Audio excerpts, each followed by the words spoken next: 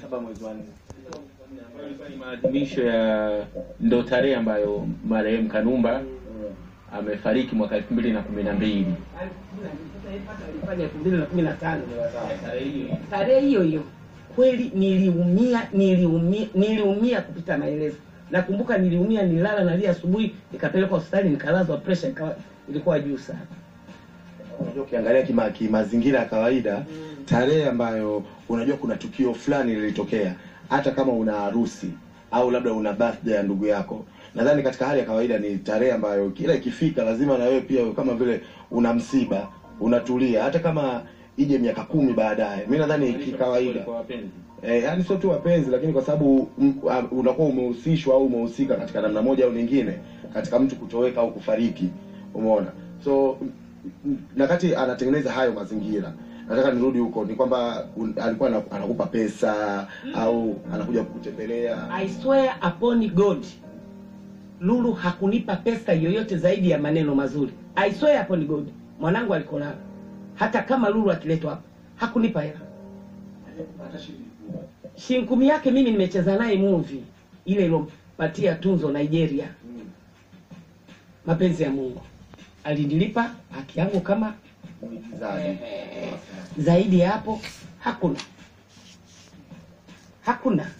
umeshawahi ku, ku, kwenda kwa kina Lulu labda kukaribishwa kwao au ni wao ndio walikuwa wanakuja wanafunga safari Ile ilichukua muda mfupi yaani ile alivyokuja ilichukua muda mfupi ikakatika eh, Ah, Umesema alikutukana, ilikuwa kwa nini? ah, kwenye simu. Yaani unajua ni ile hali ya kusema sasa mimi ni mimi. Hakuna chochote cha kuweza kuni eh, eh. Mimi nakumbuka aliniita kubwa jinga. Kweli kabisa. Kwenye simu anambia we kubwa jinga. Eh, siogopi polisi wala mahakamani. Na unifanyi lolote fanya unachotaka kufanya Lakini labda inawezekana labda kuna sehemu labda mlitofautiana au kuna madai ambayo ulikuwa ume mimi tulivyocheza move alinilipa hela yangu yote. Yaani mimi nahisi ninavyohisi. Wale washauri wake wa karibu nafikiri ndio walikuwa wanampa ushauri mbaya. Lakini hata kama angempa ushauri mbaya yeye angejiongeza. Mm. umri wake ulikuwa mdogo lakini mambo yake ni makubwa sana. Hata juzi jaji ilo swala kalikataa. Na inasemekana kwamba kuna kipindi ulikuwa ukimpigia simu apokei na hapo ndo ambapo mawasiliano alikata waongo. Mi nimpigie simu niongee nini naye? Bora hata mama yake mkubwa mwenzangu. Mi nitapiga simu kwa Lulu Yani naomba yani, unajua watu kwa mfano kama kwenye hii mitandao kuna mtu sasa hivi amejiweka kama mama kanumba anajibu kwa niaba ya mama kanumba. Wakati sio mimi. Nimeshaenda kuchukua na arabi polisi mm.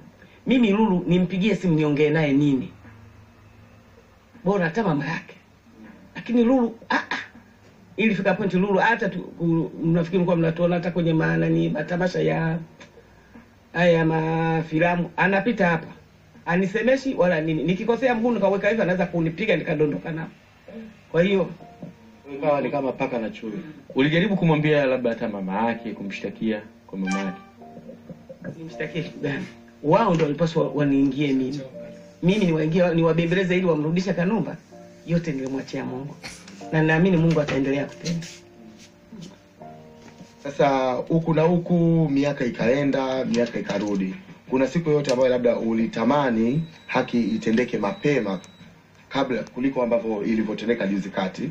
Sawa na tunamshukuru mungu kwamba imekuwa hivyo lakini je ulitamani kwamba ingekuwa ni mapema kabla ya juzi kati ilivyotendeka mimi niliamini subira ya heri nilijua iko siku haki itatendeka e, damu ya mtu haipotei na kesi Na wanasema kwamba mama ameenda kuchomea, mama ameenda kutoa ushahidi kule sijui na nini. Yaani kuna Watanzania uh, wengi ambao wasiokuwa na uelewa wa kisheria wanahisi kwamba unajua ah, mama ndo anaenda kukumbushia ile kesi ilikuwa ishaisha na vitu kama hivyo. Mimi sikwenda kwanza hata mi nilishtuka maana mi nilijua hii- kesi imeshafutwa hakuanzia sijui sio mi sina, sina utaalamu wa wa mahakama wa sheria wa nini sijui alafu sio mimi naye mshtaki Kwa hiyo hata mimi nishtuka, nilipata taarifa kama leo, kesho mahakamani. Eh, Kwa hiyo alafu mimi nina nguvu gani au uwezo gani wa kuiamrisha serikali? Lulu alikuwa anashtakiwa na jamhuri, mimi na uwezo gani? Eh, Na kesi ile ilikuwa haijafutwa. Kwa hiyo naye alikuwa anajua kwamba wakati wowote, wa saa yoyote, mwaka wowote itaanza tena. Mm. Kwa hiyo sasa kesi zilivyoanza mahakamani huku na huku huku na huku, wewe hivi labda utupe tu mtazamo wewe, ile kesi sasa ika- imekuweka katika nafasi gani wewe kama wewe, kwa sababu ni almost miaka mitano ambayo imepita na kesi imerudia tena, wewe ulikuwa katika Ili- ilirudi upya, yaani nirudi kwenye maumivu mapya, lakini ambayo maumivu mimi nilikuwa nayo tangu siku zote. Mimi sifichi, nasema ukweli. Wewe umefiwa unapoona yule mtu anayetuhumiwa kukufanyia jambo kama hilo anakula raha, anaspendi man, maneno ya kedei kwenye mitandao nini, unaumia. Kwa kweli mimi nilikuwa naendelea kuumia sana, na hata hapa kesi ilipofikia, japo mi naona kama miaka alomfunga utafikiri kaiba kuku, msemo wa baba yake Kanumba, miaka miwili. Ni kama aliiba kuku lakini angalau naona mahakama imenitendea haki. Kulikoni pale alipokuwa anakula raha anafanya nini. Mi kila siku. Ikifika Kanumba Day sijui siku niko peke yangu makaburini, Lulu yuko kwenye starehe zake na familia yake. hajawahi hata ku- kuku- kukupigia simu wala hata kukutumia rambirambi hata ya maneno au ya, ya vyovyote kila ikifika hiyo tarehe. Huo muda hakuwa nao. Mmeenda pamoja makaburini yeah. Kama alikuwa naenda alikuwa naenda kivyake, na sidhani kama alikuwa naenda Ah, ah. huo muda hakuwa nao. Kwa mfano labda wewe ndo ungekuwa ndo judge unatoa hukumu, ungehukumu uh, kifungo cha miaka mingapi ama, ama ungetoa hukumu gani? Unahisi ipi ambayo inafaa? Hii kama ninavyosema mimi by profession ni mhasibu, mambo ya mahakama sijui. Lakini sema kwamba adhabu ya miaka miwili ni kama vile ameiba kuku. Una, unahisi adhabu ya kiapo gani? Angepewa miaka mitano au kumi. Eh. Angalau bora kuna nafuu.